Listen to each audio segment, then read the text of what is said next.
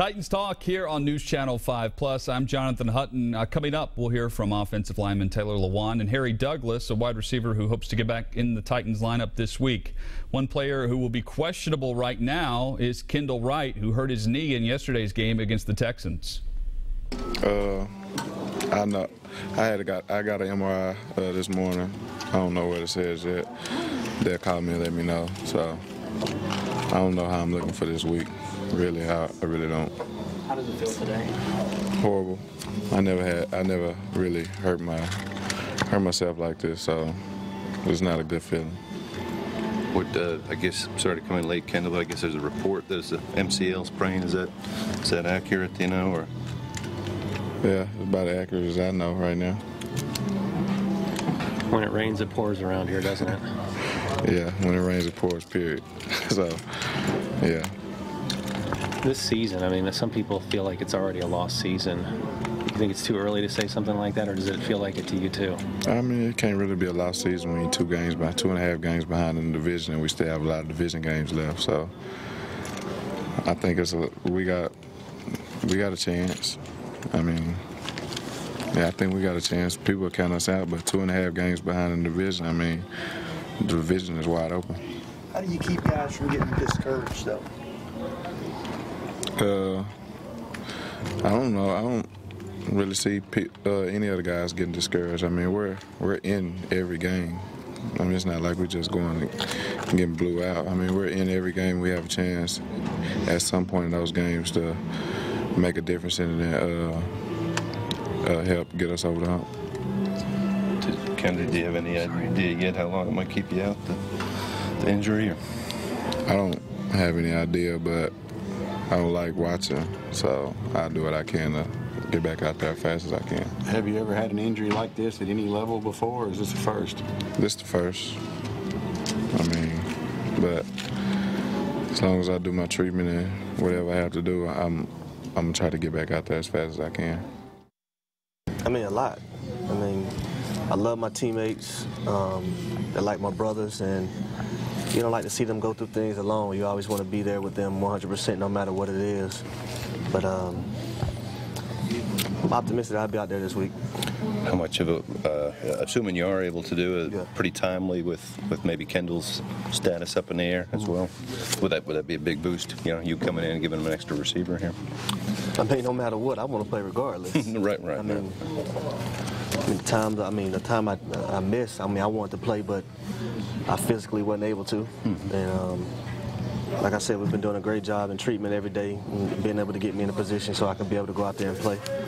And um, it's going to start, well, start today.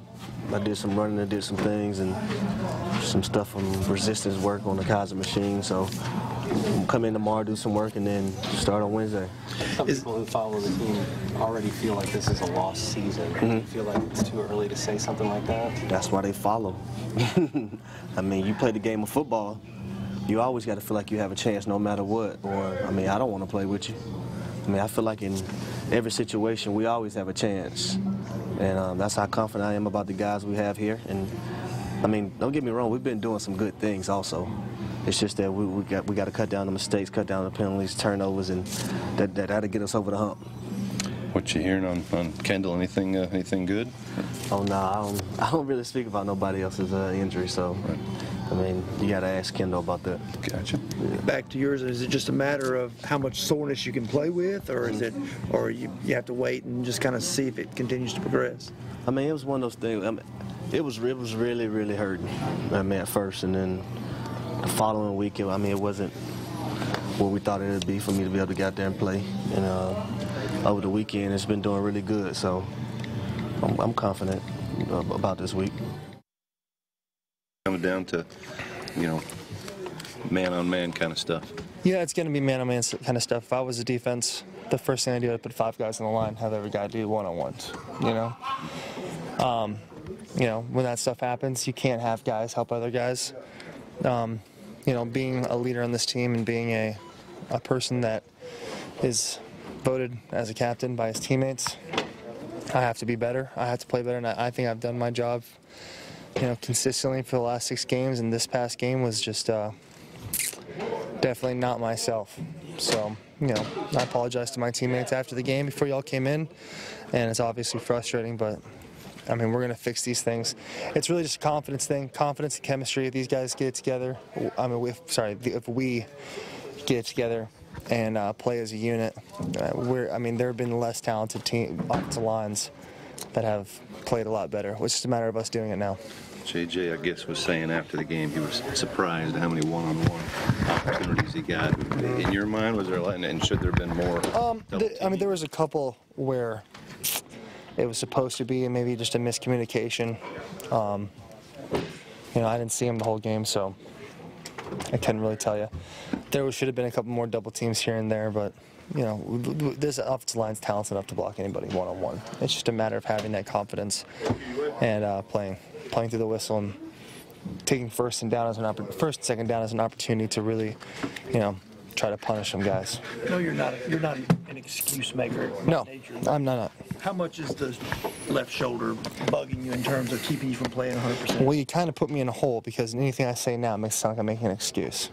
No, I- I think, um, you know, it's it's a matter of me getting in, getting treatment, and uh, being as healthy as I can possibly be for this team. And you know, on Sundays, it doesn't have an asterisk on the film saying, "Hey, this guy's got an injury." I mean, it's going to the eighth game of the season. Everyone's hurt. Everyone's beat up a little bit, and it's just a matter of me doing what I have to do to be the player that I want to be and have been, aside from this game.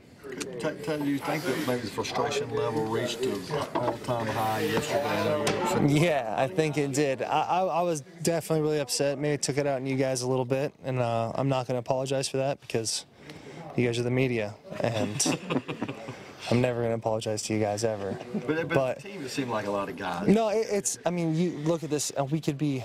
We're we're a good team, and I know our, our record doesn't show that. The stats don't show that, but we've done good things, and we've been very few points away from lots of wins. So, you know, this team's not going to give up. This defense has been really holding us to some games. We got to get going on the offense. Do you guys collectively as an offense, I mean, you feel like you've let the defense down the last few games? I think we have. I think we have let the, the, the defense down, and um, the defense is so into it. They want to play so hard for us. I mean, if you watch on uh, Antonio's 27-yard run on the right side, you got guys jumping up and down, excited starters. You know, they're not resting. They're watching. They're excited. So, um, you know, we owe the defense a lot of a lot of points.